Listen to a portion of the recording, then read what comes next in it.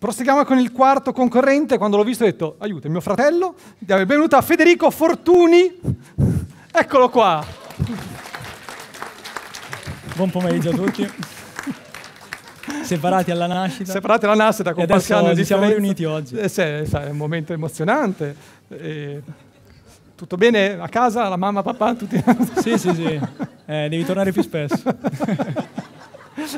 24 anni, quarto anno della facoltà di medicina e chirurgia. Sesto. Ho sbagliato, sì, hai ragione anche tu. Eh, sono For... fratello scemo io dei due.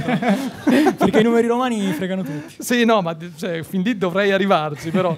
Eh, Università di Perugia, sei, quindi sei, sei, sei, sei, anche di... No, no, sei di dove sei, fratello? Sono... Eh, come, come mai? Non sai dove sono? Eh, no, eh, no, già uscito. Sono di Città di Castello, in provincia di Perugia. Ah, quindi eh, sei, sì, rimasto ma... lì? Sì, sono rimasto lì, tu sei andato. Sì, eh. Qualcuno doveva pensare a casa. Eh sì, lo so. Va bene. E niente, vado a vedere cosa ti ho insegnato, le cose che hai imparato. Vediamo, vediamo okay. se hai imparato. Sei pronto? Sì. Bocca al lupo anche per te. Con la prima Credo. parola parte il cronometro. Vai. Perfetto. Perché abbiamo due occhi, due orecchie e soltanto una bocca? Partiamo da un punto chiave. Dove sono posti i nostri occhi? I nostri occhi sono posti di fronte. Guardano la stessa parte di spazio, ma da due angolazioni differenti. Ma allora non sarebbe stato meglio soltanto un occhio? Se non altro aver risparmiato sulle lenti dei miei occhiali.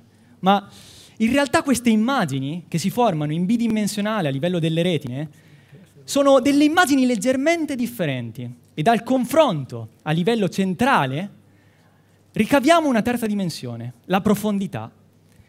Allora, vediamo in natura, ci sono degli animali che hanno gli, orecchi, gli occhi posti di fronte? Sì, c'è il lupo, c'è il leone, e infatti il lupo e il leone necessitano di sapere dove è posizionato un animale, una preda, per poterla prendere nello spazio, mentre altri animali hanno gli occhi posti di lato, lateralmente, in questa maniera.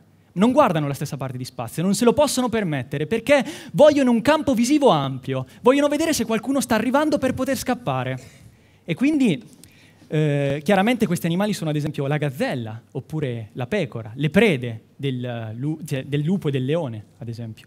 Ma io dico, in realtà è una necessità avere due occhi, non soltanto un lusso. Perché è una necessità? Perché a livello delle due retine c'è un'area dove non ci sono recettori, dove emergono i nervi ottici.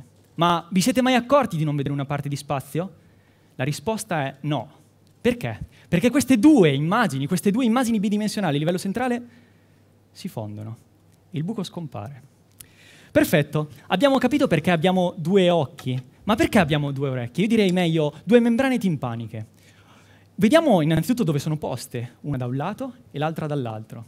Allora, questo serve, come prima, per poter localizzare da dove proviene uno stimolo, un suono nello spazio. Allora, se il suono proverrà da destra, la membrana di destra vibrerà con maggiore intensità rispetto a quella di sinistra e vibrerà prima di quella di sinistra. E il confronto di questa informazione a livello centrale farà nascere la terza dimensione. Dove è localizzato questo oggetto? Perfetto. Ma allora perché abbiamo soltanto una bocca? Eh, forse perché dobbiamo osservare, ascoltare il doppio di quanto parliamo.